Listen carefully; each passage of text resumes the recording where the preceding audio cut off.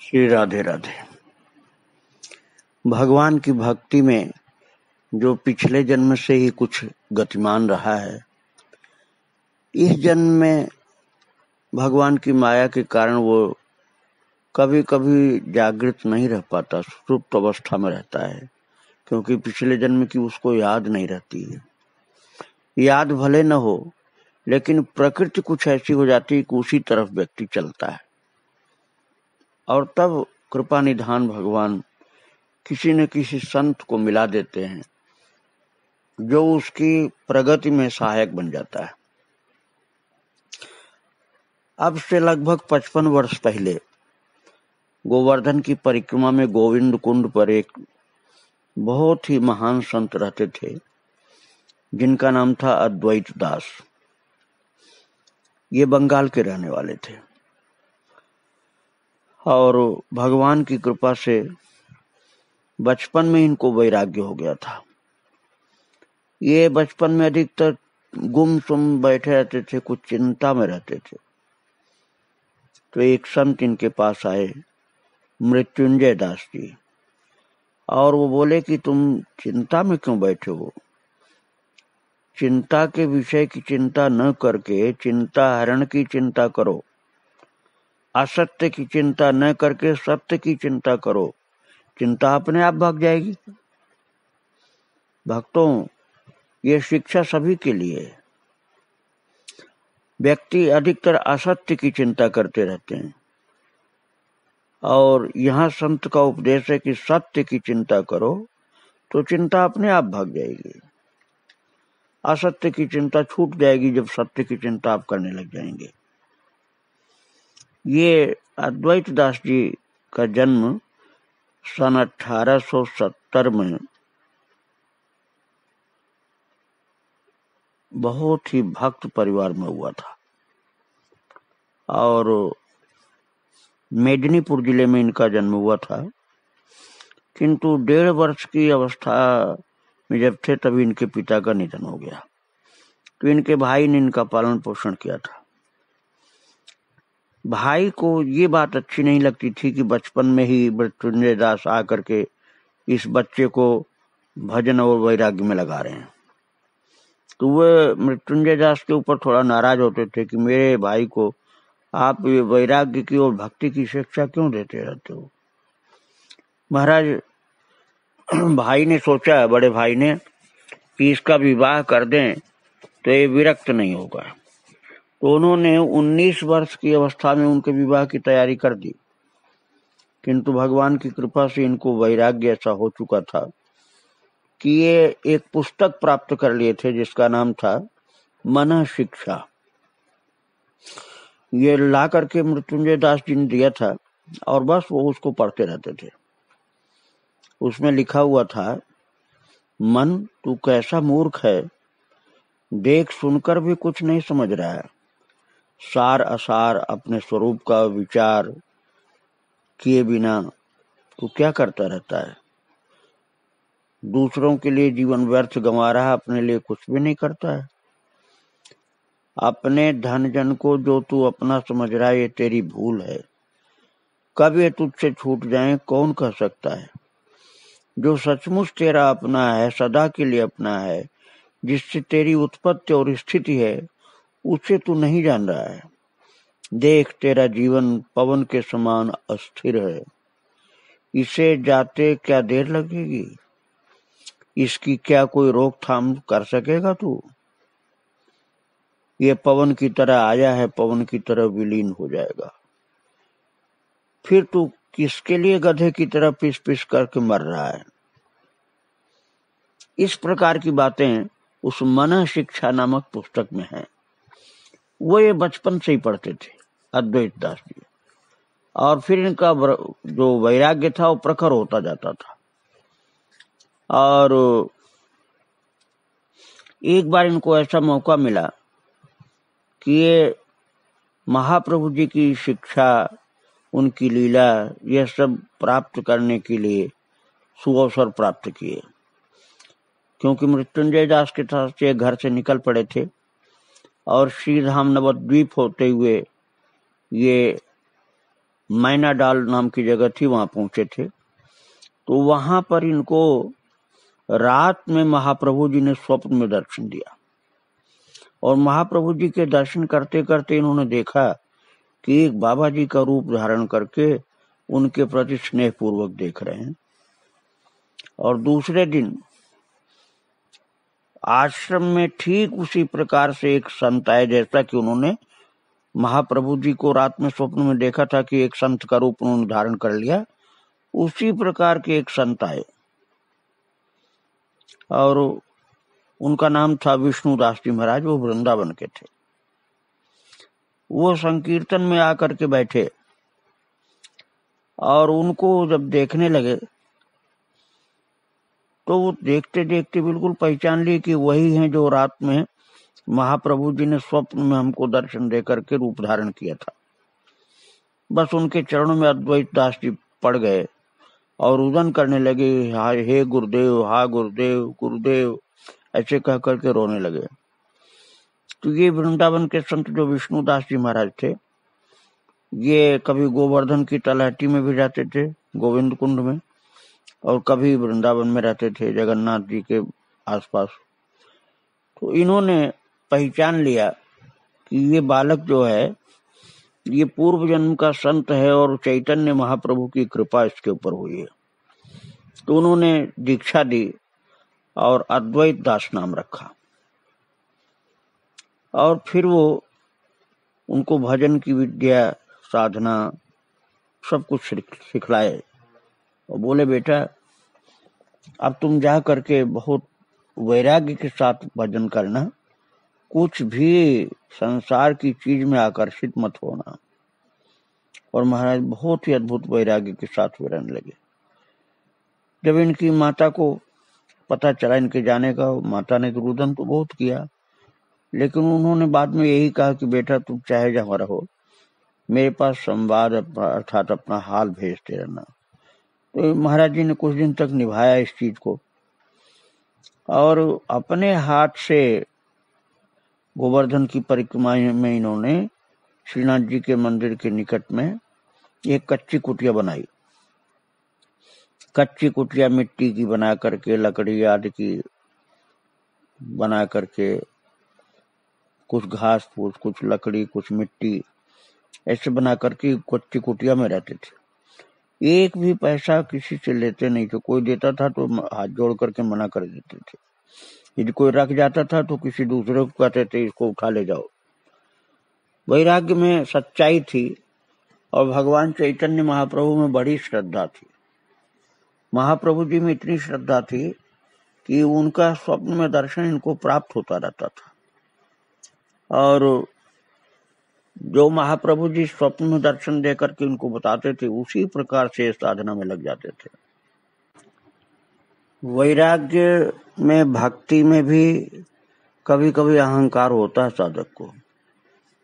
तो कृपालु प्रभु उस अहंकार को दूर करते हैं। इनको भी एक बार वैराग्य का अहंकार हुआ। तो उसी समय जब अहंकार बहुत ज़्यादा इनको हुआ कि मेरे जैसा वैराग्यवान कोई नहीं तो उन्होंने देखा उसी समय उनके संत, उनके सामने एक संत आए गिरिराज की गुफा से। और उनके शरीर में एक एक हड्डी गिन सकते थे, ऐसी शरीर की अवस्था थी। गोविंद कुंड में स्नान किया और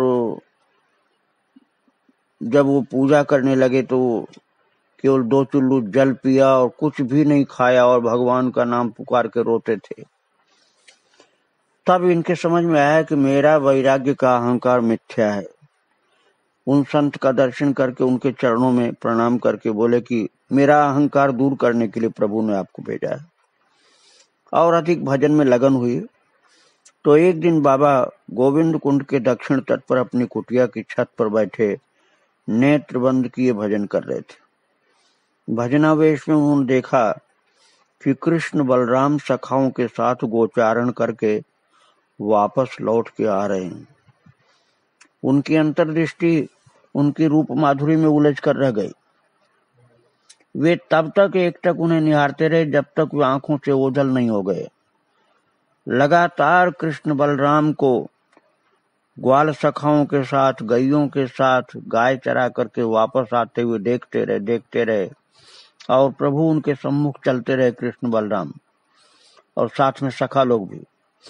बहुत देर तक देखते रहे, उसके बाद आँखों से उजल हुए। उन्होंने देखा कि गोविंद कुंड के उस पार वृक्ष रूप में एक भक्त, जो उन्हीं की तरह उनकी ओर एक टक निहार रहे थे, मूर्छित हो पृथ्वी पर गिर पड़े। तो सोचने लगे कि ये ये वृक्ष के रूप में कौन भक्त हैं? जैसे मैं कृष्ण बलराम को देख रहा था गोचारण के दृश्य में, ऐसे वो वृक्ष के रूप में भक्त देख रहा था। तो उन्होंने आँखें खोली। तो कि जो मैंने देखा वो सही है कि गलत है? तो आँख खोल करके फिर देखा तो कुंड के उस पार सचमुच एक वृक्ष जो अभी तक हरा भरा था, भूमि पर गिर पड़ा है। तब उनके समझ में आया कि जो लीला मैंने देखी वो सच्ची थी।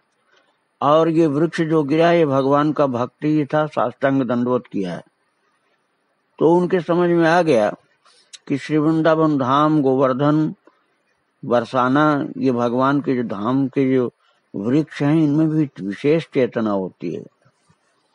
और महाराज, तमाम प्रकार की लीलाओं का दर्शन इनको होता रहता था। किस प्रकार की लीलाएँ किस दिन होती थी, उसका वर्णन ये कभी कभी सुनाते थे संतों को। जब इनको आज्ञा होती तब बताते थे। और फिर इनके गुरुदेव ने कहा कि तुम भागवत का अध्ययन करो और वैष्णव की सेवा करो। तो वे भागवत का अध्ययन करने लगे और वैष्णव संतों की सेवा में लगे। जप भी करते थे, ध्यान भी करते थे। ध्यान और जप करते रहते थे और भागवत भी पढ़ते थे और वैष्णव संतों की सेवा में लग गए। और एक दिन जब ये भगवान की भक्ति में लगे हुए थे तब इनको पता चला कि इनके गुरुदेव जो उस समय उनके पास नहीं थे और वे अपने एकाकार चित्तवृत्ति करके भगवान की लीला में प्रवेश कर गए। बस ये सुनते ही अद्वैत दास पछाड़ खाड़ करके गिरे और गुरु वियोग इनसे सहन नहीं हुआ। इनको लगता था कि ये भी प्राण त्याग देंगे। और उस समय जब ये अतिशय व्याकुल थे तो स्वप्न में उनके गुरुदेव ने एक साधु को दर्शन देकर के कहा कि अद्वैत दास मेरे विरह में बहुत विरह कातर हो रहा है। जा करके उससे कहो कि वो दुख न माने। जिस तुलसी के वृक्ष के नीचे में बैठ करके भजन किया करता था, वहाँ जाकर के वो पहले की तरह मुझे देख सकेगा और मुझसे बात भी कर सकेगा। जिस साधु को स्वप्न दिया था, उनका नाम था हरिदास। तो हरिदास ने उसी दिन प्रातः काल राधा कुंड पर जाकर के अद्वैत दास बाबा को स्वप्न का सब वृत्तांत करके सुनाया। बाबा ने आकुल भाव से कहा, मुझे शीघ्र वहाँ ले चलो। यदि सचमुच उनके दर्शन होंगे गुरुदेव के तो प्राण रखूँगा, नहीं तो गोविंद कुंड में डूब के मर जाऊँगा। और महाराज, गोविंद कुंड पहुँच करके उन्होंने तुलसी के उस मंच के नीचे गुरुदेव के साक्षात दर्शन किए। जो कि शरीर छोड़ चुके थे, उनका प्रत्यक्ष दर्शन गुरुदेव का उन्होंने अद्वैत दास ने प्राप्त किया। और फिर उन्होंने समझाया तो उनके द्वारा भली प्रकार आश्वस्त होने पर फिर वो धैर्य धारण कर पाए। और भागवत आदि के अध्ययन में, लीला चिंतन में, वैष्णव सेवा में तब वो लगे, क्योंकि वो बहुत ज़्यादा निराश हो गए थे। गुरु का वियोग उनसे सहन ही नहीं हो रहा था। अब जब हरिदास जी को जो स्वप्न दिया था, विष्णुदास जो उनके गुरुदेव ने उसकी तुलसी वृक्ष के पास मेरा दर्शन होगा तो प्रत्यक्ष दर्शन मिला, वो समझाया भी, तब ये धीरज रख पाए, नहीं तो शरीर छोड़ने को अद्वैत दास भी तैयार हो गए थे। बाबा अद्वैत दास जी संकीर्तन पर बहुत ज़ोर देते थे। वो कहते थे कि मैंने गुरुदेव की कृपा से संतों के द्वारा अनुभव प्राप्त किया और खुद मुझे भी अनुभव हुआ है कि संकीर्तन और अष्टयाम लीला चिंतन बहुत लाभ देता है। वे नाम जप पर बहुत बल देते थे और कहते थे, नाम कल्पतरु है। नाम की कृपा से साधक के हृदय में लीला की स्फूर्ति अपने आप होने लग जाती है। वो कहते थे कि नाम जप करने से महाप्रभु चैतन्य बहुत प्रसन्न होते हैं और लीला चिंतन में राधा रानी की कृपा से वृद्धि होती जाती है। बहुत भाव से, स्नेह से नाम जप करना चाहिए, लापरवाही से नहीं करना चाहिए, नहीं तो लाभ नहीं हो पाता पूरा। और वो हमेशा भक्तों को, संतों को बताते थे कि कीर्तन करते समय साधक का मनोभाव होना चाहिए। कि श्री नित्यानंद प्रभु, चैतन्य महाप्रभु और उनके गुरुदेव साथ में कीर्तन कर रहे हैं और वो साधक उनका साथ दे रहा है। इस प्रकार भाव रख करके, इस प्रकार से ध्यान करते हुए कीर्तन करना चाहिए। तो कीर्तन के साथ साथ ही जो ध्यान, चैतन्य महाप्रभु, नित्यानंद प्रभु और उनके खुद के गुरुदेव कीर्तन कर रहे हैं और वो भी साथ दे रहे हैं तो ऐसा ध्यान करते हुए कीर्तन करने से शीघ्र प्रेम की प्राप्ति होती है। और साधक को ये जानना चाहिए कि वो यदि मधुर भाव का उपासक है तो श्री वृंदावन धाम की जो रस परंपरा है, उसके अनुसार उसको सहचरी भाव की साधना करनी चाहिए। वह राधा रानी को, अर्थात प्रिया जी को, प्रिया प्रियतम को एक दूसरे को सुख देने के लिए चिंतन करना चाहिए। सेवा करनी चाहिए।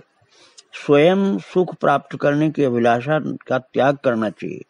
सहचरी भाव में रहना चाहिए और राधा जी की कृपा प्राप्त करने के लिए उनके परायण होकर सेवा करते रहना चाहिए।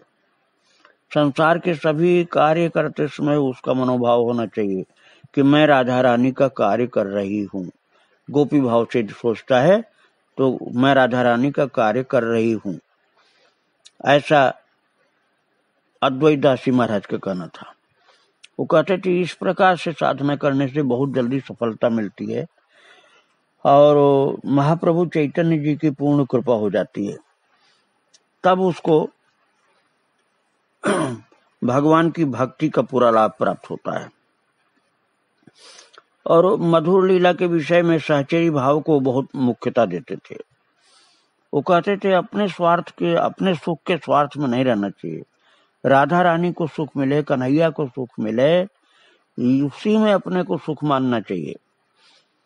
और बहुत परिश्रम से कीर्तन करना चाहिए, पूरी शक्ति के साथ कीर्तन करना चाहिए। कीर्तन और जप को ही मुख्यता देनी चाहिए। गुरु मंत्र की, जो दीक्षा मंत्र की साधना है, उस साधना में और नाम कीर्तन में बहुत भाव से लगने से धीरे धीरे सब प्राप्ति हो जाती, सभी उपलब्धि हो जाती है।